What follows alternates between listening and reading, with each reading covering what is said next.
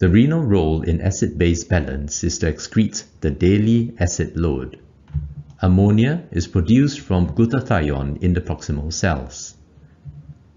There is a daily excretion of 1 milliequivalent per kilogram of acid into the tubules. This combines with ammonia to form ammonium. The ammonia cycle increases the concentration of ammonia across the medulla. And the acid load, the daily acid load, is excreted and buffered by ammonia and appears in the urine as ammonium.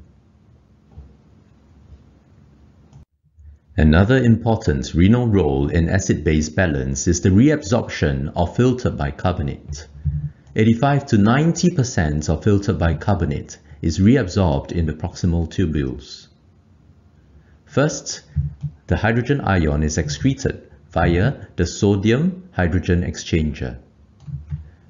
This pairs with bicarbonate in the urine and the carbonic acid that is formed undergo reactions that are mediated by the carbonic anhydrase enzyme. This leads to the return of CO2 into the proximal tubules, generation of bicarbonate again, and eventually this bicarbonate is returned to the bloodstream. There is normally no bicarbonate in the urine and this is an important point to note. We go on next to the initial evaluation of acid-base disorders. These are very familiar basic rules in acid-base chemistry, the Bronsted-Lowry theory, the Henderson equation, and eventually we have the Henderson-Hasselbalch equation. The most important thing to note in the Henderson-Hasselbalch equation is that pH, bicarbonate, and PCO2 are all bound in a very strict mathematical relationship and they cannot deviate from this Henderson-Hasselbalch equation. In the very initial approach to any acid-base disorders, there are three important questions that we have to ask. First, is there acidemia or alkalemia? Second, is it a metabolic or a respiratory disorder? Third, is it mixed or is it a pure disorder? Step 1. Is there an acidemia or alkalemia? If the pH is available, we definitely should take a look at that.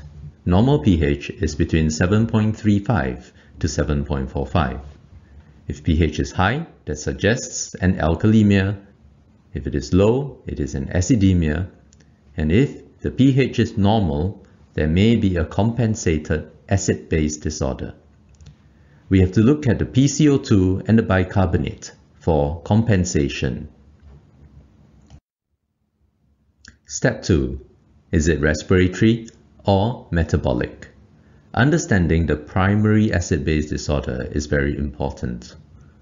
First, if you look at the bicarbonate, if the bicarbonate is low, a more common interpretation of that would be that there is a primary metabolic acidosis.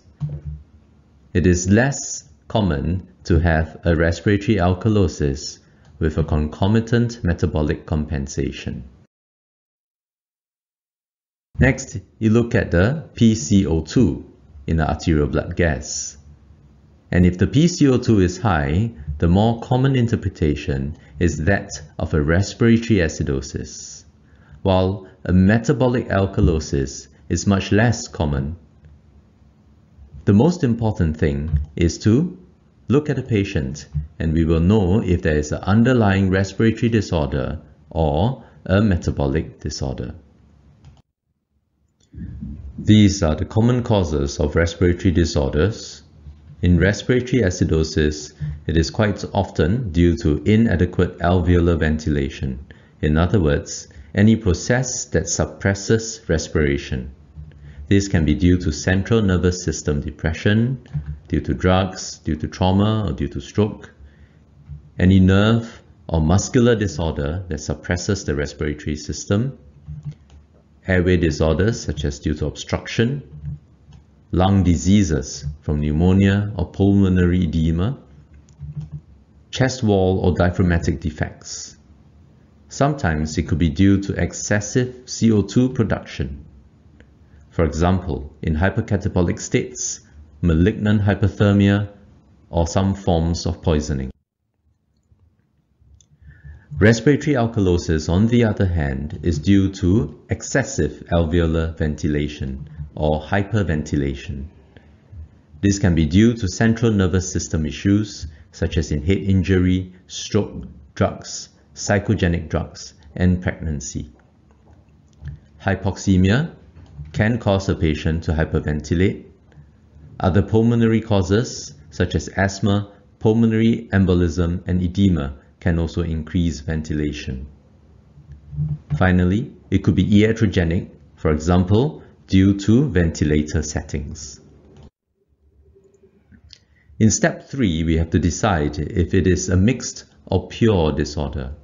And I bring us back to the Henderson-Hasselbalch equation in which there is a fixed mathematical relationship between pH, bicarbonate, and PCO2.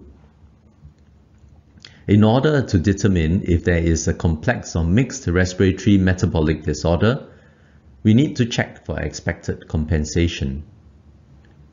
If the primary condition is a respiratory acidosis, the initial PCO2 will be elevated, and for every 10 mmHg increase in PCO2, there's a compensation by the kidneys to increase the bicarbonate. In an acute respiratory acidosis, the bicarbonates will increase by 1 millimole per liter, while in chronic respiratory acidosis, it will increase by 4 millimoles per liter. If it is due to a primary respiratory alkalosis, PCO2 would fall, and for every 10 mmHg fall in PCO2, bicarbonate will fall. It goes in the same direction, and in acute respiratory alkalosis, it will fall by 2 millimoles per liter, while in chronic respiratory acidosis, it's 5 millimoles per liter. If you look at metabolic disorders, in metabolic acidosis, bicarbonate falls, and for every one drop in bicarbonate, you will have a corresponding drop in PCO2 by 1.2. There's no difference between acute or chronic metabolic disorder. In metabolic alkalosis, with every 1 millimole per liter increase in bicarbonate, there's a corresponding increase in PCO2 by 0.6 mmHg. It's difficult to try to remember the compensation. That's why I've developed this compensation memory aid. For respiratory conditions, I would say 1 to 4 for 10 carbon more, 2 to 5 for 10 carbon less. This reflects the changes in bicarbonate in acute or chronic respiratory conditions. In metabolic disorders, I would say 1.2 for one bicarb lost, 0.6 more for a bicarb more.